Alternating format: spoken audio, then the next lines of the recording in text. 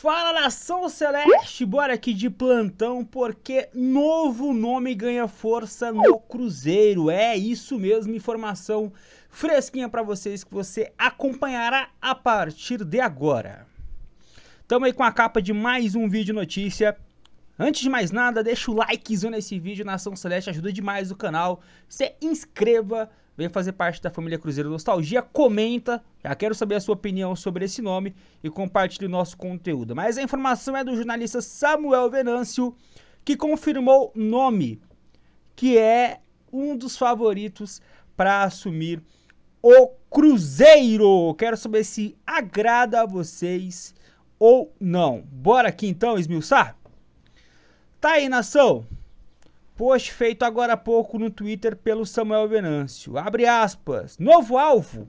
Em busca de um comandante, o nome de Gabriel Milito, agora livre no mercado, pode ser mais um na pauta do Cruzeiro. No vídeo, falo sobre mais detalhes sobre essa possibilidade em meio a outros nomes que a diretoria já conversa nas, nos últimos dias. Já vou trazer o vídeo para você, tá? Continuando. No vídeo falo sobre outros detalhes. É um nome bem avaliado e até mesmo antes do Pepa ele foi consultado. Não existe negociação aberta até o momento, mas é óbvio que o fato de estar livre o faz tornar um alvo no momento. Daí, até se efetivar algo, teria um caminho importante a ser percorrido. Vamos aguardar. Tá aí então os tweets do Samuel Venâncio. Olha, é, vamos lá então, nação. Gabriel Milito, ele ontem, né, foi anunciado pelo Argentino Júnior o seu desligamento do clube. O Argentino Júnior deixou bem claro que o treinador que pediu desligamento, ele tinha um contrato, acreditem se quiser, até 2027 e optou então é, por deixar a equipe argentina. Cara, se tem relação com o Cruzeiro a gente não sabe, mas é um nome bem avaliado internamente no clube e tá livre no mercado. Ao contrário, por exemplo, do Antônio Oliveira, técnico do Cuiabá, que era um nome que agradava a diretoria, ao contrário do Carpini, que está atualmente no Juventude, ao contrário de outros treinadores, esse tem um caminho mais livre. E ele estava trabalhando em um local que a moeda é mais desvalorizada que o real. O peso argentino hoje vale bem menos que o real. Então, salarialmente falando, que traz empecilhos como Marcelo Gadiardo, Tite, que são técnicos mais caros, esse fator também não seria um empecilho. Então tá livre. É um treinador que não custaria caro como outros e tem uma filosofia que agrada a diretoria. Se vai concretizar-se ou não na ação, não sabemos ainda. Mas tá aí, tá livre no mercado. Então bora trazer um trecho do vídeo, na verdade o áudio, né? Não posso aqui replicar o vídeo, mas vocês vão acompanhar na íntegra o que, o que disse o Samuel Venâncio em vídeo. E aí a gente finaliza o vídeo dessa forma, com vocês escutando o Samuca, né? E aí tirando as suas conclusões e comentando aqui se o nome do Milito lhe agrada. Lembrando que esse Gabriel era zagueiro, tá? Não se confundam com aquele centroavante que jogou na Inter é, de Milão. Esse jogou no Barcelona meados de 2010, 2011, mas ele não joga na Inter, ele encerra a carreira dele, é, inclusive na Argentina, né? É, mas não é aquele centroavante, não se confundam, tá? Inclusive, esse Milito, ele já vem de alguns trabalhos em estudiantes, no próprio Argentino Júnior, enfim. Ele já tem uns oito anos de carreira. Então, já é um treinador que já está indo para quase uma década de experiência. Beleza, nação? Bora ouvir então o Samuel Venâncio. Aqui com uma informação importante. O Cruzeiro, todo mundo sabe, tá aí no mercado buscando técnico.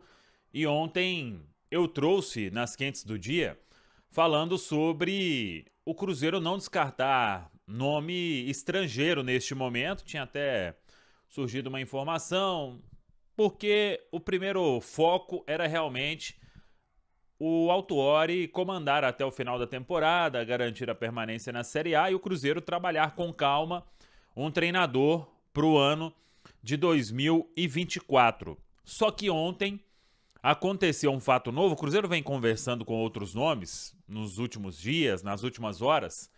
Só que ontem aconteceu um fato novo e eu busquei uma informação, obviamente ninguém vai confirmar, ninguém vai falar sobre, Cruzeiro principalmente, e da parte deste técnico também. Mas é um técnico de potencial e que passa a ser alvo do Cruzeiro. Dentre os nomes, um será ele.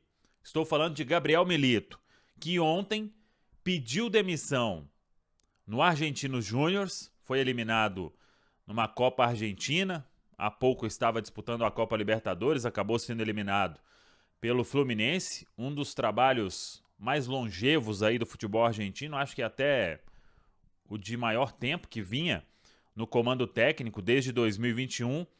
E o Gabriel Milito é jovem ainda, tem 42 anos.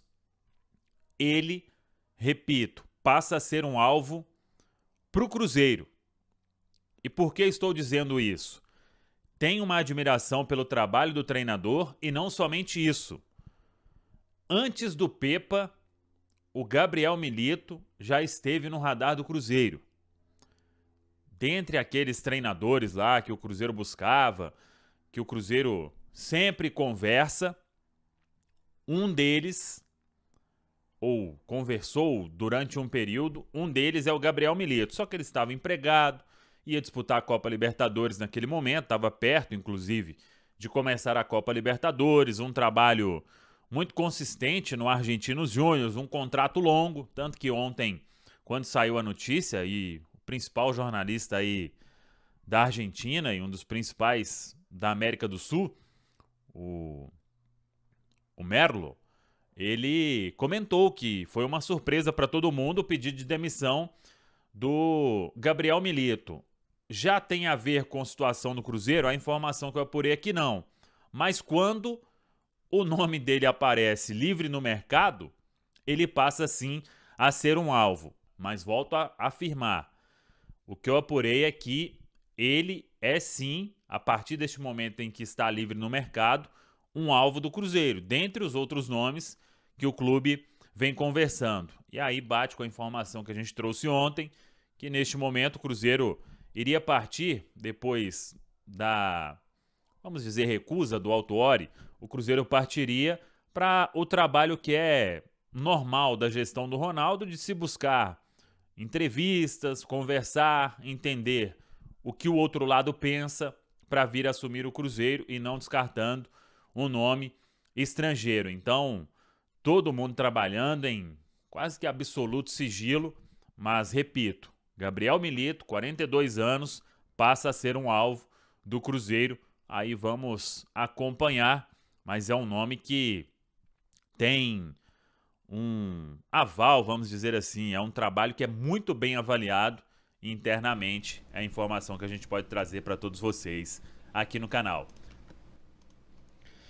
Tá aí, nação. Sacanagem essa foto do Samuel Venâncio que eu coloquei aí, né? Das antigas. Mas só para pontuar, tá? O atacante que eu mencionei, o argentino, era o Diego Milito, né? Para vocês não, não se confundirem. O Gabriel Milito era o zagueiro. Beleza?